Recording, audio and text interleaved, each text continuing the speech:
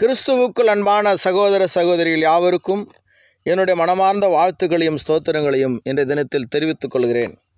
நாம் இன்றைய தினத்தில் அப்போஸ்தலர் இருபத்தி ஐந்தாவது அதிகாரத்தை ஆராய்ந்து பார்ப்போம். அப்போஸ்தலர் இருபத்தி ஐந்து ஒன்று. பெஸ்துவை குறித்து அதிகமான குறி குறிப்புகள் இல்லை. இவன் ரோமாபுரியின் பிரபுக்கள் குடும்பத்தை சேர்ந்தவனாய் இருந்திருப்பான். இவன் ஞானமும் நேர்மையும் விவேகமும் உள்ள மனிதன். தனக்கு முன்பு இருந்தவர்களை காட்டிலும் நீதி உணர்வு உள்ளவன். யூதயா தேசத்திலிருந்து திருடர்களையும் கொலைகாரர்களையும் இந்த பெஸ்து ஒழித்தான்.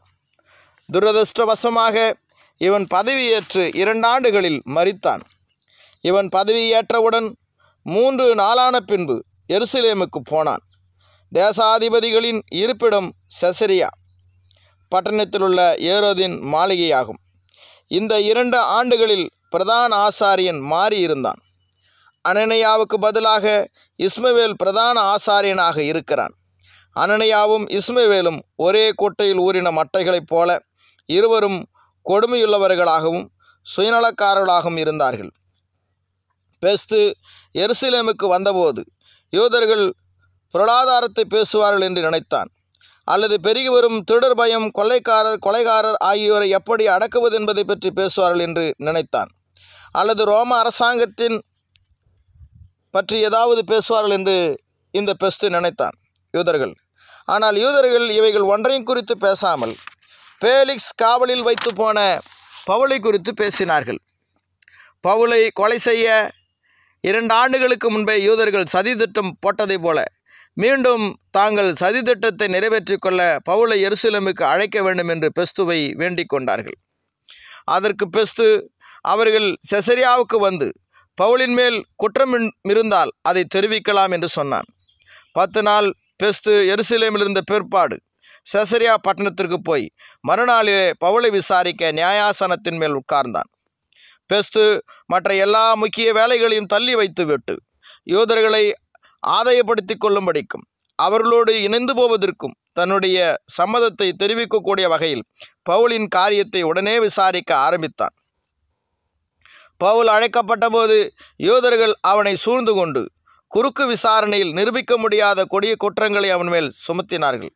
அதற்கு பவுல் தான் யூதருக்காகிலும் தேவாலயத்துக்காகிலும் ராயனுக்காகிலும் விரோதமாய் ஒரு குற்றமும் செய்யவில்லை என்றான். இந்த அதிகாரத்தில் ரோம பேரரசர்களை சித்தரிக்கும்படி ஆறு இடங்களில் சீசர் ராயன் என்கின்ற வார்த்தை வருகிறது. இருபத்தைந்தாவது அதிகாரத்தில் எட்டாவது வசனம் பத்தாவது வசனம் பதினோராவது வசனம் பன்னிரெண்டாவது வசனம் இருபத்தோராவது வசனம். எம்பரர் இரண்டு இடங்களில் இருபத்தொன்று இருபத்தஞ்சில் பேரரசன் ஒரு இடத்தில் ஆண்டவன் என்கின்ற வார்த்தைகள் சீசர் எம்பரர் ஆண்டவன் என்கிற வார்த்தைகள் இந்த அதிகாரத்தில் வருகிறது. ராயன் என்பது செசார் என்ற மொழியாக்கம் செய்யப்பட்டுள்ளது. இது கிரேக்க வார்த்தையாக காய்சார் இது ஜூலியஸ் சீசருடைய குடும்ப பெயராகும். இது ஆண்டவன் என்கிற தெய்வீக உணர்வை கொண்டுள்ளதால் பிற்கால பேரரசுகள் இதை விரும்பவில்லை. ஆனால் நீரோ மன்னன் இதை கௌரவமிக்க வார்த்தையாக மக்கள் தன்னை ஆண்டவனாக ஏற்றுக்கொள்ள வேண்டும் என்று நினைத்தான். கிறிஸ்தவர்களும் யூதர்களும் மனிதர்களை ஆண்டவனாக மதிக்க மாட்டார்கள். எனவே நீரோ மன்னனை ஆண்டவனாக அவர்கள் சொல்லவில்லை சொல்லாதவர்கள் கொலை செய்யப்பட்டார்கள். இது நிமித்தமே கிறிஸ்துவ மார்க்கத்தின் மேல் ரோம பேரரசர்கள் வெறுப்படைந்தார்கள். பெஸ்து பவுலை குற்றமற்றவர் என்று அறிந்தும் பவுல் குற்றமற்றவர் என்று தீர்ப்பு செய்ய பெஸ்து பயந்தான். அவன் பதவியேற்று இரண்டு வாரங்களே ஆனபடியினால் யூதருடைய சதி ஆலோசனையை அறியாதிருந்தான். எனவே பவுலை எருசலேமுக்கு கொண்டு போய் அங்கே விசாரணை செய்தால் தான் செய்வது யூதருக்கு பிரியமாயிருக்கும் என்று எண்ணி எருசலேமுக்கு போய் அங்கே விசாரிக்கப்பட உனக்கு சம்மதியா என்று பவுலை கேட்டான். ஆனால் பவுல் ராயனுக்கு அபயமிட்டான். பவுலை விடுதலை செய்ய பண்ணுவது தேவனுடைய சித்தமல்ல. அவன் ரோமாபுரியில் இயேசுவை குறித்து சாட்சி கொடுக்க வேண்டும். இந்த திட்டம் நிறைவேறும்படிக்குத்தான் இந்த காரியங்களெல்லாம் நடைபெற்று வருகிறது. சாதாரண குடிமக்கள் ராயனுக்கு அபயமிடுவது கூடாத காரியமாகும். ஆனால் ஒரு ரோம குடிமகன் ராயனுக்கு அபயமிட வாய்ப்புண்டு. பெஸ்துவுக்கு இது சங்கடமான காரியமாக இருந்தது. ஏனென்றால் பவுல் மேல் சாட்டப்பட்ட குற்றம் என்னவென்று தெரியாமல் கடிதத்தின் மூலமாக ராயனுக்கு தெரியப்படுத்த வேண்டும். ஆனால் பவுலை குறித்து எடுத்து காட்டக்கூடிய குற்றம் எதுவும் இல்லை இது ஒரு சங்கடத்தை அவனுக்கு உண்டாயிற்று. மேலும் பவுலோடு கூட ஒரு இராணுவ தலைவனையும் ஒரு இராணுவத்தையும் அனுப்ப வேண்டும். மேலும் ரோமாபுரிக்கு போகிற கப்பலை கண்டுபிடிக்க வேண்டும். ராம ராயனால் இந்த குற்றம் விசாரணைக்கு எடுத்துக்கொள்ளப்படும் நாள் வரைக்கும். தலைநகர் ரோமாபுரியில் அவர்கள் காத்திருக்க வேண்டும். அரசாங்கத்திற்கு இவ்வளவு செலவு உண்டாகிறபடியால் ரோம பேரரசுகள் தேசாதிபதிகள் தண்டிக்கப்படலாம். இதுவும் பெஸ்துவுக்கு ஒரு சங்கடமாகும். பெஸ்துவும் தன் ஆலோசனைக்காரரோடு கூட தீர்க்கமாய் ஆலோசித்த பின்பு பவுலை நோக்கி ராயனுக்கு அபயமிட்டாயே ராயனிடத்திற்கு போக கடவா என்று சொன்னான். ஏரோதின் குடும்பத்தில் அகிரிப்பா ஒன்று என்பவன் மறிக்கும்போது அவனுடைய மகனாகிய அகிரிப்பா இரண்டு என்பவன் பதினேழு வயதான சிறியவனாக இருந்தான்.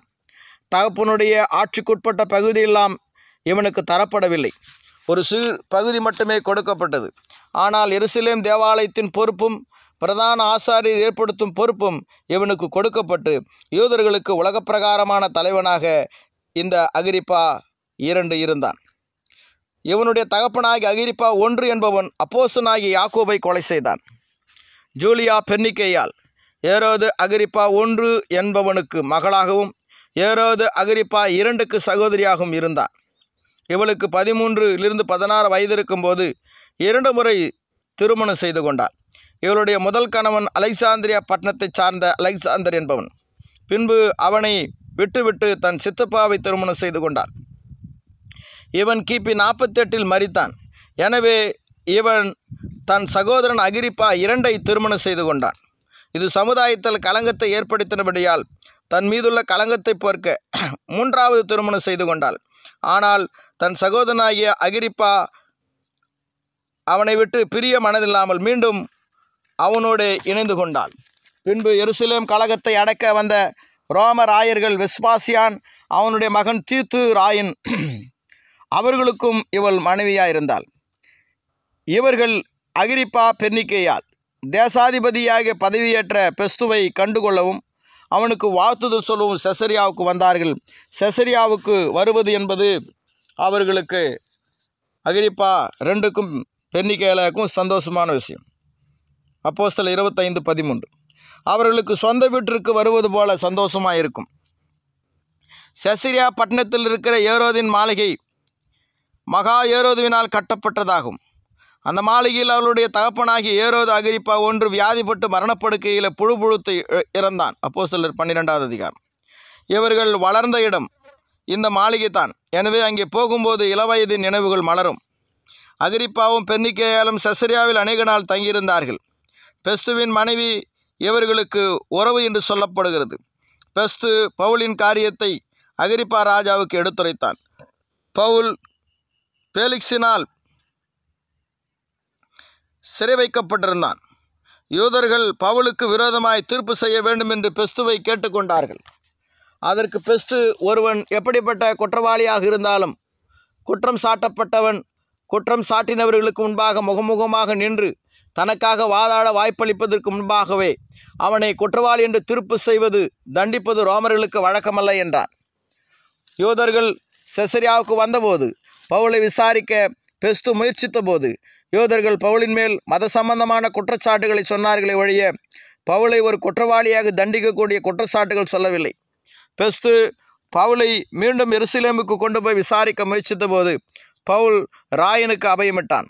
பவுல் ஒரு ரோமனாக இருந்தபடினாலே ராயனுக்கு அபயமிட முறையிட அவனுக்கு வாய்ப்புண்டு.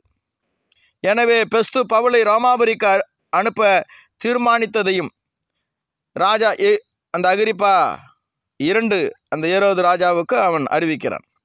அகிரிப்பா பெஸ்துவை நோக்கி அந்த மனுஷன் சொல்லுவதை நானும் கேட்க மனதாக இருக்கிறேன் என்றான். அதற்கு பெஸ்து நாளைக்கு நீ கேட்கலாம் என்றான். பவுலை விசாரிக்கும்படி நியாயாசனம் ஆயத்தமாக்கப்பட்டது. நியாயாசனம் என்ற அந்த இடம் பெரிய ஏரோதுவினால் கட்டப்பட்ட ஆடம்பரமான பெரிய குடாரமாக இருந்தது. கனத்த திரைச்சிலைகள் சுவர்களை அலங்கரிக்க சலவை கற்கள் ஆன அந்த அழகான தூண்கள் மேற்கூரையை தொட்டு கொண்டிருந்தது. அந்த அறை அழகான செடி கொடிகளாலும் தோரணங்களாலும் அலங்கரிக்கப்பட்டிருந்தன. அழகான ஆடம்பரமான ஆடைகள் அணிந்திருந்த முக்கியஸ்தர்கள் அந்த அறை நிரம்பி வழிந்து கொண்டிருந்தது. ரோமச்சேவர்கள் சுற்றிலும் நின்று கொண்டிருந்தார்கள். எக்கால சத்தத்துடன் அணிவகுப்பு அங்கே வந்து சேர்ந்தது.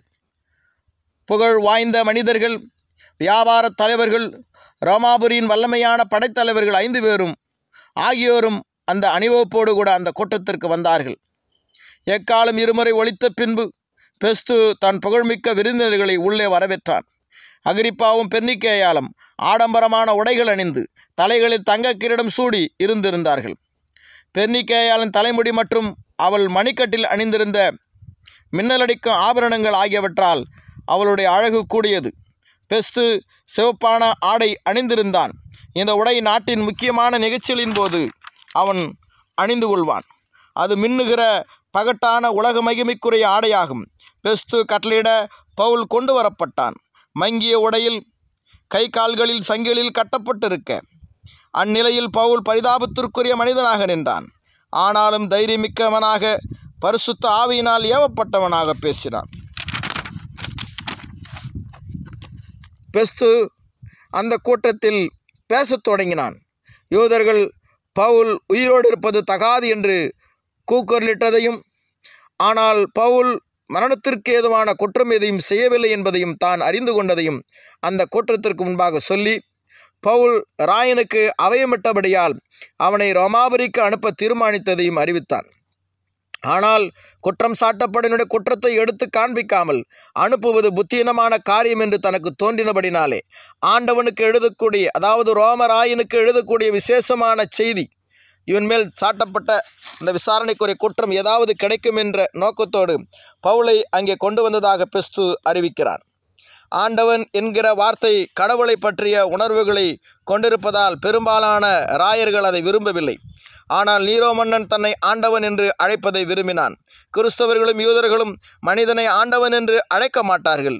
நீரோ மன்னன் தன்னை ஆண்டவன் என்று அழைக்காத தன்னை வணங்காத ஏராளமான கிறிஸ்தவர்களை கொலை செய்து தன்னை கரைபடுத்தி கொண்டான்.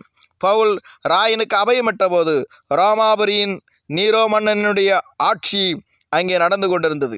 இவன் கிபி ஐம்பத்தி நான்காம் ஆண்டு ரோம பேரரசனாக முடிசூடப்பட்டான். இவன் பதவியேற்றது பதவியேற்ற ஐந்து ஆண்டுகளில் பொற்கால ஆட்சி செய்தான். அதன் பிற்பாடு கிறிஸ்தவர்களை கொலை செய்து கொடுங்கோல் மன்னனானான். அன்புக்குரியவர்களே பொறுமையாய் இந்த படிப்பில் என்னோடு இணைந்திருந்தமைக்காக உங்களுக்கு நன்றி கூறிக்கொள்கிறேன் தேவனுக்கு சித்தமானால் நாம் தொடர்ந்து இந்த படிப்பில் இணைந்திருப்போம்.